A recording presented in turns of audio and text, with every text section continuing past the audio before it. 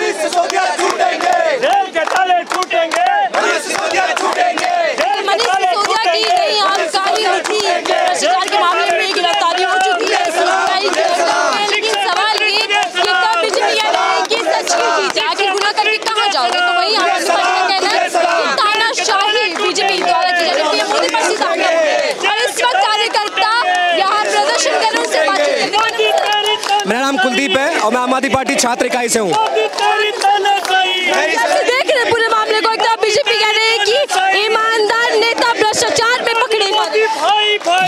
और सिर्फ़ बीजेपी की, बीजेपी के मुख्यालय से बनी हुई एक स्क्रिप्ट है, जो सीबीआई को दी गई है। देश में सिर्फ़ और सिर्फ़ अरविंद केजरीवाल को रोकने के लिए, उनके कामों को रोकने के लिए इस तरह की, इस तरह की रोक लाई जा रही इस तरह की गिरफ्तारियाँ की जा रही है। एक नहीं, एक हज़ार लोग गिरफ्तारी के लिए तैयार हैं। दिल्ली का शिक्षा मॉडल से डरते हैं मोदी जी, इसलिए मनीष जी को उन्होंने गिरफ़्तार करवाया है। तो शराब नीति की रही है, शिक्षा की थोड़ी ना हो रही है अब सवाल ये पे कि जब बात शराब की हो तो आप शिक्षा को आगे कर देते हैं बिल्कुल ठीक कह रहे हैं आप बात शिक्षा की नहीं है। बात शराब की नहीं है बात शिक्षा की है बात मॉडल की है। ये सिर्फ़ और सिर्फ़ परेशान करने की बात है।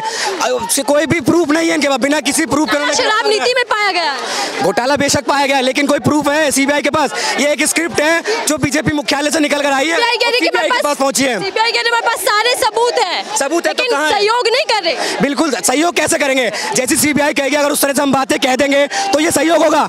जो बातें जिस तरह से होंगी उसको वैसे ही कहा जाएगा। यही सहयोग होता है। बीजेपी के द्वारा दी गई स्क्रिप्ट को पढ़ के कह देंगे मनीष जी वो सहयोग नहीं होता। बात तो सीबीआई की जाँच एजेंसी है उनका कहना है कि घोटाला पाया गया है मनीष सिसोदिया इस वक्त उनके पास है यानी कि गिरफ़्तार मैडम सबको पता है पूरी दिल्ली का एक एक बच्चा एक एक नागरिक दिल्ली का समझ रहा है। ये कोई कोई कोई घोटाला नहीं है। और घोटाला है भी तो मनीष का कोई दूर तक लेना देना नहीं है। सिर्फ़ और सिर्फ़ परेशान करने वाली बात है दिल्ली को रोकने की बात है और अरविंद केजरीवाल को रोकने की बात। है अगला नंबर अरविंद केजरीवाल का है। बीजेपी क्या रही ऐसा कुछ भी नहीं है। कोई नहीं है। अभी अगला नंबर है बीजेपी में। एमसीडी में जिन लोगों ने करप्शन करा है पार्षदों ने उनकी बारी है। उन्होंने जितने लंबा चौड़ा घोटाला करा है उन सबकी फाइलें आम आदमी पार्टी के पास है। और सिर्फ़ और सिर्फ़ अगला नंबर बीजेपी के पार्षदों का है। बीजेपी नेता तो सिर्फ़ आरोप लगते हैं साबित नहीं कर पाते उन पर। सारे नेता एकदम गंगा जैसे पवित्र है बीजेपी के पास एक वॉशिंग मशीन है जिसमें वो एक तरफ़ से भ्रष्टाचारी को डालते हैं, दूसरी तरफ़ साफ़ सुथरी छवि के नेता को निकालते हैं। बीजेपी के अब बीजेपी मतलब देश में दोहरा चरित्र रख रही है। एक चरित्र वो है जहाँ ये अपने नेताओं के लिए दिखाते हैं। दूसरा चरित्र वो है जहाँ पे देश के भर के अलग दूसरी पार्टी के लोगों को देखते हैं और उनके ऊपर तमाम तरह के आरोप लगाते हैं और उनको परेशान करने का काम करते हैं।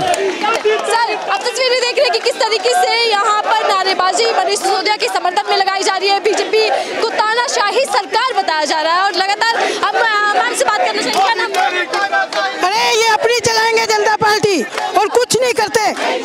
ये अच्छा देश वाले को चलाने वाले को ठीक रखते ही नहीं है। हमारे शिक्षा मंत्री में कोई कमी नहीं है। इन्होंने जानबूझ के अंदर करा है। फिर दिल्ली की जनता को शराब पिला रहे थे। क्या पिला रहे थे? दो करोड़ जनता ने जिताया है इनको। सबको। केजरीवाल को इनको हमें। इतनी पब्लिक पागल है।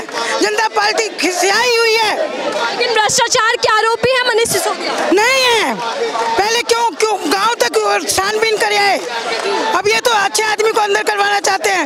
सोचते हैं पहले मनीष सिसोदिया को अंदर करें तो फिर इनकी मत टूटे हमारी मत नहीं टूटेगी। कौन कर रहा है पूरा? मोदी मोदी कर रहा है सब ये काम। पीछे तो 18 घंटे काम कर रहे हैं वो तो कहीं और अठारह घंटे करा क्या करा एक मंदिर बनाया अठारह घंटे में एक मंदिर बनाया उस मंदिर में काम करने में मंदिर बना ये ये नहीं दिखता मंत्री ने कितने अच्छे स्कूल कर दिए। ये नहीं दिखा।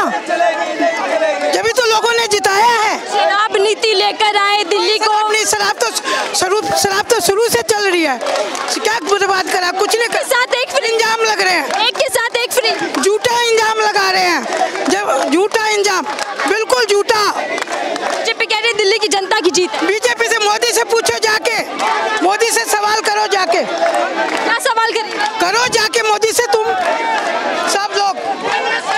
देखिए दिए जी जी क्या कह रहे हैं सर? आप मैं ये कह रहा हूँ आप बोल रहे हैं ना शराब में घोटाला किया है। आप नजफगढ़ साइड जाइए पीछे।